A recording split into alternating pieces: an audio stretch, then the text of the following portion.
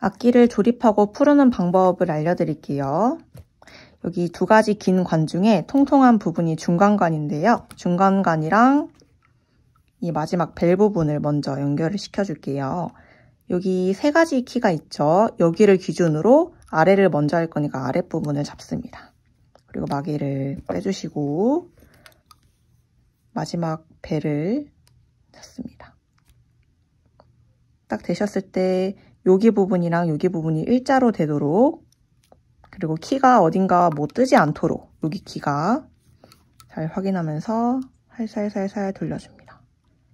마지막이 이렇게 일자로 맞도록 다 되셨죠? 그리고 이제 윗간을 맞춰줄 거예요. 윗간도 마개를 따주시고 여기 세 가지 키를 기준으로 위에를 할 거니까 위에 쪽을 잡아주세요.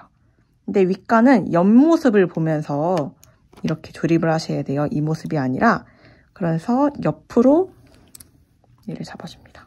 여기를 기준으로 그리고 윗간도 옆면을 봐야겠죠.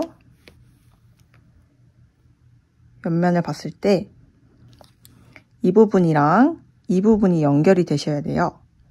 근데 여기가 절대 뜨지 않도록 이런 식으로 눌리면 이쪽 키가 떠요. 그래서 조립할 때 어딘가가 뜨, 키가 뜨지 않았는지 확인을 하고 옆모습을 보면서 살살 돌려줍니다. 여기가 맞으셨죠?